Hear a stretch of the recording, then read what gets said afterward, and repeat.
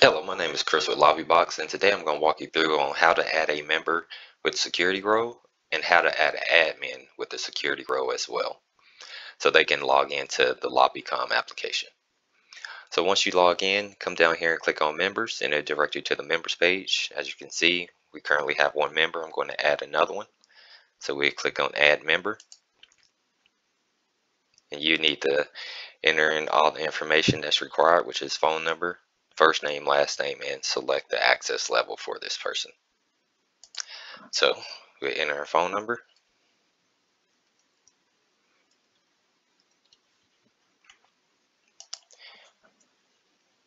Enter our first name.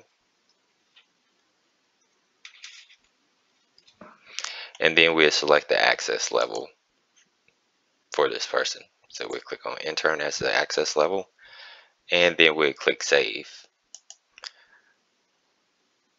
After clicking save, the system will automatically send a text message to the phone number provided for this member. They'll be able to download the mobile app and set a password for the mobile app. From here, we'll go to company admin and we add the these two members as administrators for the account. So we click on add admin, add in their email address,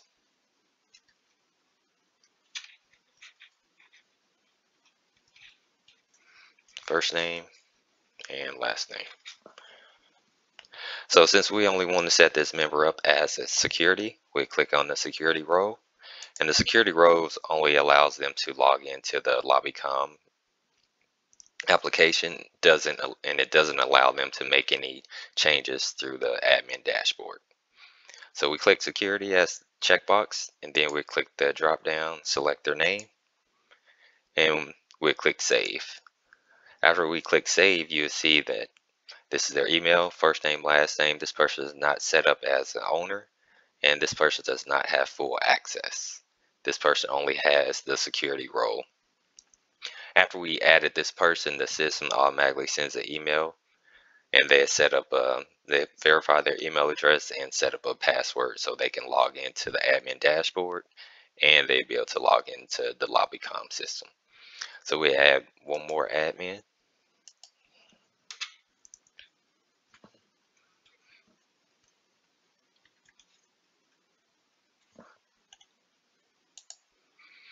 And this person is going to have the security role and we're going to have full access. So this person will be able to make changes for the admin dashboard. So we click the security member, select that person, and we click save. And the system automatically sends an email to this email address so they can actually verify their email address and set up a password so they can log into the admin dashboard and into LobiCom. As you can see, it has the email address, first name, last name. This person isn't set up as an owner.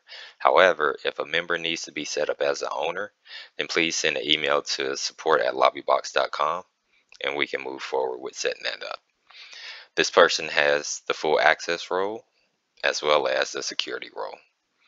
Now that this person is set up and have set up their password, we come over here to LobiCom, enter their uh, email address and the password.